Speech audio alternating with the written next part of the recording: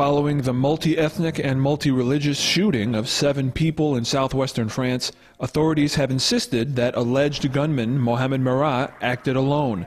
But a reporter with Italian newspaper Il Foglio is citing an anonymous source that Merah was both a religious extremist and a spy for French intelligence.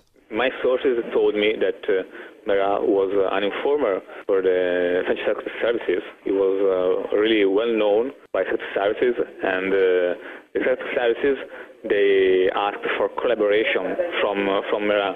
I know that uh, in my word, but uh, I can I can say my sources on this case are, are pretty reliable. A multitude of questions have followed Merah's death.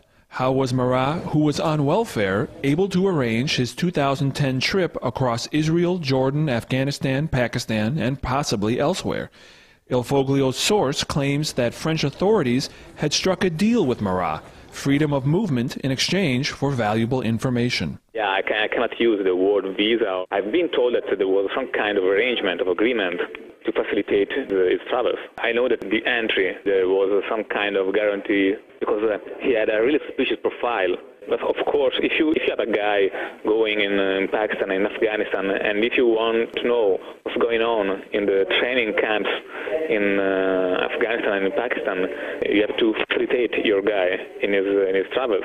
Prior to the shootings, France's domestic spy agency says they had followed Merah for more than a year. They had been tracking his brother, now in custody, since 2007. But it took France more than 10 days to track down Mohamed Merah. He was at his home, not some secret hideout. Speculation is mounting that Merah may have flown under the radar because France thought he was only working for them. Disaster. I mean, uh, it, it, was an intelligence uh, intelligence operation went really bad. I mean, uh, one of one of your informer goes mad and starts killing people in the streets. So, I mean, there's a huge failure.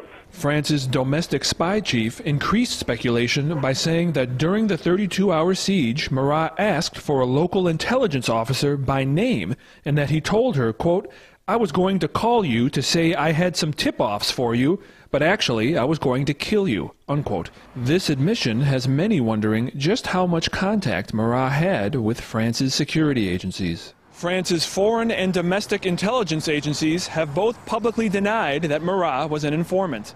Il Foglio says they have no physical proof, just the word of a government source who wants to remain anonymous.